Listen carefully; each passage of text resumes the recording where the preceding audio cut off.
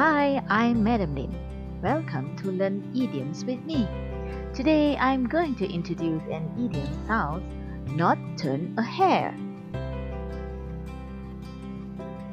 Not turn a hair literally is like what's shown in the picture. The wind is blowing, but the girl not turn her hair. This idiom brings a meaning of remain calm or do not show any emotion like fear or anger or excitement when something happens.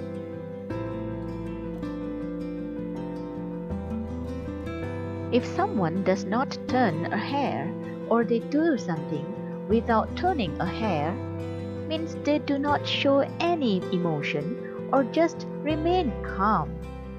Let's go through the pictures and learn through sentences. Sentence 1 The boy picked up the snake without turning a hair. Look at the picture. The boy wasn't fear when he picked up the snake. He did not turn a hair.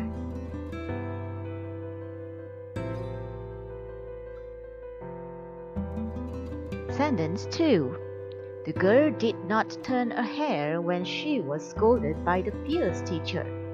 From the picture, we can see that the fierce teacher was scolding the girl, but the girl was not afraid. The girl did not turn a hair.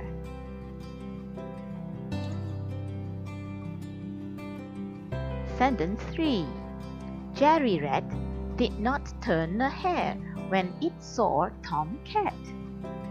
We can see from the picture, Jerry wasn't scared about being caught by Tom Cat. It did not turn a hair, yet it played with Tomcat. Now we know not turn a hair means remain calm. That's all for today. See you in the next video.